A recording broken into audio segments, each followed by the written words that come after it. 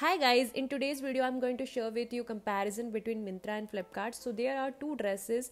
One I ordered from Myntra. So this one I ordered from Myntra and I paid uh, 1434 rupees and another one which I ordered from Flipkart and I just paid uh, 711 rupees so you can see the dresses are same but color are different because I ordered in different colors so print and the quality of the fabric are same so you can see the looking and the fabric and the quality of the product are very nice. And this dress is very trendy nowadays and i really love this dress because i paid just 711 rupees. And this dress which i ordered from Myntra and i paid 1434 rupees which is very very expensive.